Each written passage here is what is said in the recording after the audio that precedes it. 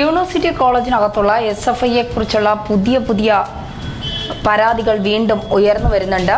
University കോളേജിൽ വലിയ രീതിയിലുള്ള അതിക്രമ സംഭവങ്ങളാണ് എസ് എഫ് ഐയുടെ ഭാഗത്തുനിന്ന് ഉണ്ടായതെന്ന് വിദ്യാർത്ഥികൾ തന്നെ പരാതിപ്പെടുമ്പോൾ ഇനി എന്താണ് തുടർ നടപടികൾ എന്നാണ് കാത്തിരുന്ന് കാണേണ്ടത്. യൂണിവേഴ്സിറ്റി കോളേജിലെ കുത്തുകേസിൽ അന്വേഷണം പുതിയ തലത്തിലേക്കാണ് വഴിമാറുന്നത്.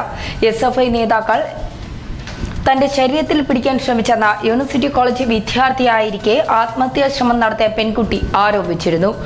ആത്മഹത്യയ്ക്ക് ശ്രമിക്കും മുമ്പ് എഴുതിയ കുറിപ്പിലെ ആരോപണത്തിന്റെ അടിസ്ഥാനത്തിലാണ് അന്വേഷണത്തിന് തീരുമാനിച്ചിരിക്കുന്നത്. എന്നാൽ ഇനി മൊഴി നൽകാൻ താല്പര്യമില്ലെന്നും ഭയമാണെന്നും ഈ പെൺകുട്ടി നേരത്തെ തന്നെ പറഞ്ഞിരുന്നു. ഇതോടെ പെൺകുട്ടികളെ മാനസികമായോ ശാരീരികമായോ പീഡിപ്പിച്ചിരുന്നു എന്നും അന്വേഷിക്കുന്നതായി സൂചനകൾ പുറത്തുവരുന്നു. ചില പൂർവ വിദ്യാർത്ഥികൾ പോലീസിന് വിവരങ്ങൾ കൈമാറിയ സാഹചര്യത്തിലാണ് അന്വേഷണം ആ വഴിയും നീങ്ങുന്നത്. എസ് എഫ് ഐ നേതാക്കൾ പറഞ്ഞാൽ അനുസരിക്കാത്ത പെൺകുട്ടികളെ യൂണിയൻ ഹാളിലേക്ക് കൊണ്ടുപോയിരുന്നതായും പലയിടത്തു നിന്നും വിമർശനങ്ങളും ഉയരുന്നു. എന്തായാലും വലിയ രീതിയിലുള്ള വെളിപ്പെടുത്തലുകളും പരാതികളും ഒക്കെയാണ് യൂണിവേഴ്സിറ്റി കോളേജിലെ എസ് എഫ് ഐക്കെതിരെ ഉയർന്നു വരുന്നത്. ഇതിനെതിരെ ശക്തമായ പ്രതിഷേധവുമായാണ് പ്രതിപക്ഷവും യുവമോർച്ചയും ബി ജെ പിയും ഒക്കെ രംഗത്തെത്തിയിരിക്കുന്നത്. എന്തായാലും വലിയ രീതിയിലുള്ള പ്രതിസന്ധിയിലേക്കാണ് കാര്യങ്ങൾ കൊണ്ടുപോകുന്നത് എന്നിരിക്കെ ഇനി സംസ്ഥാന സർക്കാർ എന്ത് നടപടിയായിരിക്കും ഇതിൽ നിന്ന് എടുക്കുന്നത്? പ്ര- പ്രത്യേകിച്ച് ശിവരഞ്ജിതൻ നസീമും അഖിലിനെ കുത്തിയ കത്തി കണ്ടെടുത്ത നിലയിലേക്ക് കാര്യങ്ങൾ എത്തി നിൽക്കുന്നു.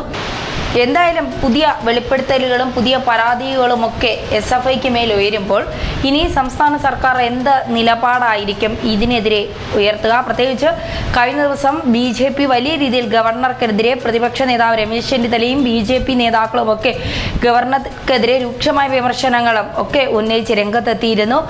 വിഷയത്തിൽ കാര്യമായ ഇടപെടലുകൾ നടത്തുന്നില്ല എന്ന് ചൂണ്ടിക്കാട്ടി പ്രതിപക്ഷവും ബി ജെ പിയും ഒക്കെ രംഗത്തെത്തുന്ന സാഹചര്യത്തിൽ വലിയ ലാഘവത്തോടെ അല്ല കാര്യങ്ങൾ കാണുന്നതെന്ന് മുഖ്യൻ പറയുമ്പോഴും യൂണിവേഴ്സിറ്റി കോളേജിൽ പെൺകുട്ടികൾ പോലും സുരക്ഷിതരായിരുന്നില്ല എസ് എഫ് ഐയുടെ കീഴിൽ എന്ന് പറയുമ്പോൾ അത് വലിയ ഗൗരവത്തിൽ കാണേണ്ട കാര്യം തന്നെയാണ്.